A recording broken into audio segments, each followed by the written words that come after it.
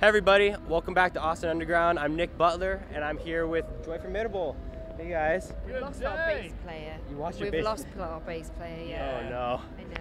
You guys want to introduce yourselves for the for the yeah, audience? Of Yeah. course. Well, you go first, Mr. Thomas. Hello, I'm Mr. Thomas. Tell him what you do, Uh, if you do uh, anything at all. Well, occasionally I hit drums and hope that they're in tune and or I don't miss them. So, yeah. Perfect. Amazing. I'm Ritzy, uh, Joy Formidable as well. Do a bit of uh, singing. And, Just a uh, bit. Just a bit. And uh, play guitar. And we've lost our bass player. There's three of us usually, but Yeah. it's all good. Got two out of three. That's perfect. That's the majority. That's, that's better. That's better than Side one. project. It's Joy Formidable, just without the bass. There we go. Yeah. Okay, so I got a few questions for you tonight. Um, I gotta start off from the very beginning. Uh, how'd you guys meet, and how'd you guys know that you three were going to be it? You were the perfect trio for making a really full, because you guys have a really full rock sound that a lot of bands just can't get with like seven players, but you guys are able to just get it with three. So how'd you guys meet, and how'd you guys know that you guys were, you guys were it? That was the squad. Uh, well, Rit and I went to school together, so we've known each other since we were about three and a half, really little. And then we, but we didn't write in school. We were actually in competing school bands. Really? Yeah, mine was better, way better. Just saying. That's what I heard. Yeah, you know. Yeah. And then, um, well, we were living in North Wales and we had a drummer that was in London and we were all, it's not that far in American terms, but we were going up and down the motorway to each other. And then we started touring and it just didn't work out. But we stayed in, ended up staying in London and then we met Mr. Thomas, who was living in, in London at the time. Was And we had we Yeah, had it like was, yeah. it was a very very very quick. Let's just say that we kind of got together, had one rehearsal, and we went on tour. We were like in Maida Vale the following week. It was like you know it had to kind of gel and work, or it would have been pretty crappy to be honest. Um, And yeah, it just it's just been it was very busy right from the start, wasn't it? It's been non-stop. Yeah. and I think that's when you you kind of know whether or not the chemistry is going to work. I think if you get thrown into something at that kind of level of intensity, it's like this is either going to sound really good and you're going to kind of you know fast track to a place that you need to be really quickly or not. And I think we did all right, didn't we? Yeah. Yeah. We're 10 still years ago. going. Ten years and uh, what is it? Three months? Yeah. Ten years and three months. Happy Wow. anniversary. Uh, you're late by three yeah. months. Oh, sorry. Get out. It's belated. It's okay. Belated. Band's Oh, over. I forgot I didn't buy flowers. Oh no. Oh. And I wanted flowers so bad. Nobody buys guys flowers, do they? That's, I do. We do. were talking about that the other day. I day. all the time do. What? Do, how come I've never got any flowers? Well, I don't buy my bandmates flowers because you both suck. I guess we've never bought you flowers. So that's, uh, no, or anything really. yeah, that's true. Yeah, yeah, we suck. Um, you've heard it here first. I- uh, okay, I'm gonna move on to the next question. Uh, okay, if you, if I insist. Uh, uh, so you guys just released your brand new album, Arth. Thank you. Am I pronouncing it right, or is it more A's or? You can put more A's in if you want. Mm. If you're feeling in, it depends on what your mood is. If you're feeling like you need to let go of some things. You have to do it like straight from the stomach, or do you want to like give me an example? He's pretty good at doing various versions of it. Yeah, there's a couple of ways you can do it, isn't there? You can be like, "Arth," like that, or you could be "Arth," like that, a bit more You could be purry, like, or you can be like, yeah, exactly. That's the sad version. You know, that's the uh, that's the reprise. I, those are all better than how I just pronounced it. So you know, you know, that's great. Okay, so you guys just released your new album, and can you sort of run me through the creative process of how it came to be, the whole recording? It's hard to know when to start. I just know that we kind of went into the studio on a little bit of a with mixed feelings. For us, making music has always been like a really like positive thing. We've always really loved getting together and creating. And I think at the start of this record, we were feeling a little bit. There was so much going on that was quite hard to take on board. That we were almost like, do we is this going to make it better or is this going to be tough on us? And should we just have a little breather and get ourselves back, kind of like, you know, together? And we thought, fuck it, we'll go into the studio for a couple of weeks, and if it if it ends up like feeling right and good, then we'll you know we'll create something. And it just did. In fact, it ended up being even more kind of like fluid and playful, and it almost felt like a contrast to maybe where we were actually at at the time. So I kind of see it as a very transformative record. It's kind of like it could have gone any old way, couldn't it? It's just a very, very strange like period for the little chapter in the band. But you know, you kind of have to. We're pretty tenacious. You kind of brush it off, and you either kind of keep on creating something that you really fucking feel, or sometimes you just need to step away for a little bit. And we didn't. We made an album, and you know. You made a, a great album. There you go. Yeah. Yeah. Thomas, you have anything you want to add? Are add? you all right? Yeah, I'm just like, mm, yes, yes, I agree. He agrees to anything. All right. He is getting his head rubbed. Yeah, there you go. yeah, yeah, definitely. Oh, I love a good head rub. uh, my next question is um, Do you have a personal favorite off this new album? Uh, uh, it, it changes a lot. I mean, like there's there's little. I kind of like the bookend of the album. Like you know, it starts with a Bluen Eira, which is obviously like a, one of our Welsh language songs, and it almost like the sister track to that is "Caught on a Breeze" that the album ends with. I, I don't know. I kind of keep going back to those from, from a live, from the live side. They kind of feel like very alive, and um, got a lot of you know, kind of the the lyrics behind them and where they come from. Me, me recognizing what actually you know um, influenced those those tracks. I'd say probably those two. You've got a favorite, haven't you? I, I like Wrong Side. Yeah. I like playing Wrong Side live because there's a bit of crazy shit going on in the background. People might not notice. Just like It's got some really nice little drum subtleties, yeah, hasn't exactly. it? Yeah. Some crazy drum secrets that's going on during Wrong Side. yeah, that's it. You know, got to do the crazy shit. that's that's awesome.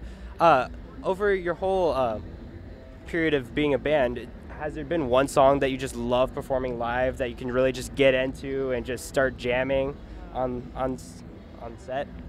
Um, I, I still feel sometimes as moved and emotional by like the greatest light is the greatest shade as I do the very first time we wrote it or played it live. It's bizarre, you know, how like and it takes on different sometimes it's like emotional it's like quite emotively angry or you know other times it's kind of like you feel kind of quite celebratory with it it seems to just kind of like you know even though the mood behind it changes it's still feels very very new to me every time we play it which is kind of great you know after 10 years you know like, what about It's like you? a chameleon of a song. It's, it really is yeah i think it is yeah it's like That's perfect. the cuttlefish of. Uh, the cuttle fish of our repertoire yes. Do you have do you have one? Do you have a favorite besides the cuttlefish? Do you have a favorite you love performing? Uh, uh, well, wrong side is great. Pass it by because I get to smash out a few drum solo-y type bits, I guess. Not that it's all about me, but you know. Says but the it is. That's awesome. That's great. Um, my next question is, uh, if there's one band, one artist that you could uh, cooperate with on a song, that you could write a song with, uh, for one song, who would it be and why? Oy. Man. It would. I mean, it would probably be Robert Smith from The Cure, to be honest. You know, like um, we've we've had a really strange year. Um, the Cure, probably one of my all-time favorite bands, and we, you know, we've just done two shows that are kind of uh, Cure connected. We did um, Meltdown that Robert um, curated, and then we're going to go and do this fucking festival in August in Glasgow with the Cure headlining. Uh, it's got uh, Mogwai. Mogwai, Twilight Sad, and us all at this festival. And um, yeah, I would absolutely love to do something with him. But maybe it's best to not do something with somebody you love and you admire. You know, maybe, Maybe. maybe just, you know, I don't know. he seems like a really lovely, lovely person as well, and he's obviously an amazing songwriter. And there's so much f- feeling in what he he puts out. So, yeah, if it was collaborations are always weird. I think they've got to be just very natural. So if it felt really natural, then yeah, that would be the that would be a lovely moment. Yeah, that that would you be good. like the Cure. Your reaction, Oh. you were like, who? I, I've s- I've seen them live before. They're amazing. They're Yeah, one of my oh, favorite mate. bands. Yeah, me too. Absolutely. I'm actually going to see them this summer in uh, in Denmark. Yeah, it's gonna be it's gonna be awesome. Brilliant. What- Cool. Yeah. Was anybody you'd like to collaborate with? Well, unfortunately, Frank Zappa's dead, so Oh, uh, there that, that's not happening. Yeah, so. you never know. I mean, the technology they have these days. That's true. I mean, could you know. collaborate with the hologram of uh, Oh, Frank nah, Zappa. Don't like holograms. Well, Sometime in the future. you can- yeah, that's it. Yeah. Or if time travel eventually gets invented, you know, someone could come forward, grab me from, oh no, go back, grab me from the past, then take me even further back. We could collaborate with Frank Zappa, and then come to the future when there's like, I don't know. We'd be a- a better few pressing more- the record in the past because it'd be cheaper and there's more pressing plants. Oh, so we yeah. just have to make sure we press the vinyl back Yeah, then. but oh, but then co- we've got to bring them we need back. to collab. We need to collab in the future, right? So the recording techniques are even better. Pristine Getting audio. Exactly. Yeah. And then we can go back, like press this. the records, and then I don't know, maybe leave them there, but then only release them 500 years Should later. sell them in the future? That's what I'm saying. or the past? Yeah, sell them in the future because the uh, the uh, interest rates will have gone up by then. You see. So. Got it all sorted. exactly. It's like you had this plan. You knew beforehand what I was gonna say. That's exactly it. I knew you were into uh, the economics of past and future, and that's why I brought it up. You know, you know. Yeah, I'm actually a time spe- time travel specialist, so you know, there you go. I could tell. you could tell, yeah. It was the bucket hat, you know. I came back from the past. giveaway. All right, uh, my last question. Oh, I actually have a couple questions. Sorry. What a smell! It smells like donuts. Oh yeah. Uh, it, Where you're going to go with that? sewer, sewage and donuts. But I'm leaving. What? I, I gotta go. Anyway, I can't handle these many questions. Keep going. Um, I, I have a fan question for you guys. Actually, actually, it comes from my dad, who's one of your biggest fans ever, and he wants to know if you can come to Austin for his birthday in September. well, Dad, that's kind of a big ask. I, know. mean, like That's what uh, I said. Very sweet. Uh, what's the date in September? September 10th. Well, you know your dad's birthday. That's Yeah, good. That's good. uh, September 10th. I don't think we've got any of anything on the book, so you never know. We we could. Is there going to be cake? We can make multiple cakes. Well, if there's cake, ma- is anything else cake? Yeah, we're there. We'll fucking do it. Just cake? All right. Yeah. It's gonna be a birthday We're party. greedy. You know, just one cake. We only need one, One, cake. Yeah. one cake. It'll be a good cake though. Future cake. cake from the future. What flavor is future cake? What's in a future cake? Please explain. I don't know. It's it just tastes of future. Well, I think we've kind of we've kind of avocados have been big. Oh. And uh, what else has been kind of cauliflower's been Oh, kind of what's maybe there's maybe there's going to be like some sort of cabbage cake that Well, know- the ca- kale's been big as well. kale's so a bit that'll be over in the future. Ava- it'll be avocado, won't it? They'll have bro- crossbred it Avocado and some pumpkin spice as well. Latte Pumpkin in there. spice will be over in the future. Yeah, but not the avocado pumpkin spice latte flavored cake. That's new. That's future cake right there. I have to tell you, this sounds disgusting. Yeah. Don't That, knock sa- it till you that sounds it. so gross.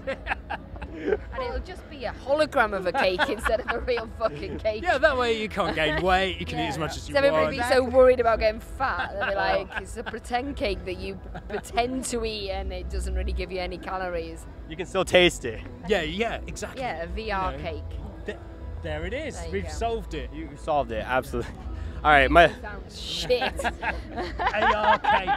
it sounds terrible. Okay, let's look a little bit into the near future though. I have to ask you guys, my last question. Where do you guys see yourself in 10 years? What's the plan?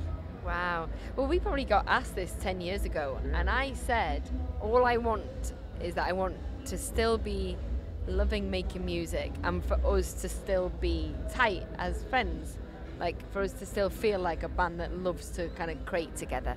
So, to be honest, I'm happy just to roll that forward another 10 years. If we're still feeling like really inspired by each other and we're still like going on tour, you know, we, we go on tour and it still feels like like the best day ever, you know?